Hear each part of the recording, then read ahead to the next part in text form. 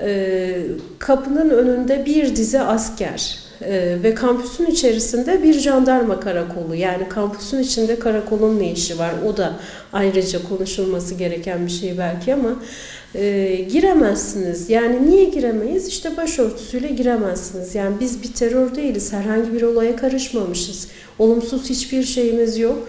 E, sicilimiz temiz e, vesaire. Fakat e, bunların hiçbir anlamı yok. Sadece başörtüsü takmanız sizi suçlu yapıyor e, ve bunun için yargılanıyorduk biz. Yani gözaltına alınıp e, apar topar işte karakollara götürülüyorduk. E, nezarette yatıyorduk. Yani böyle bir şey olamaz. Ben şu an o dönemin heyecanıyla o kadar çok iyi anlayamıyorduk. Bir mücadelenin içindeydik fakat işte üzerinden uzun yıllar geçti. Şu an yaşım da biraz ilerledi düşünüyorum da.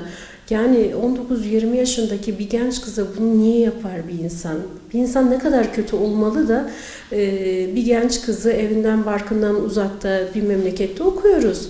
Niye siz bizi karakola götürüyordunuz? Niye biz nezaretlerde yatıyorduk? Yani ben iki gün nezarette yattığımı biliyorum. Başörtüsü taktığımız için e, arkadaşlarım ve ben e, jandarmadan coplanarak dayak yiyorduk. Böyle bir şey olabilir mi? Niye? E, şu an çok daha beni acıtıyor bu yaşadığımız şeyler. Yani o zaman bile e, o kadar çok e, acımıyordu sanki canım ama niye bunu reva gördüler? Niye biz ne yaptık?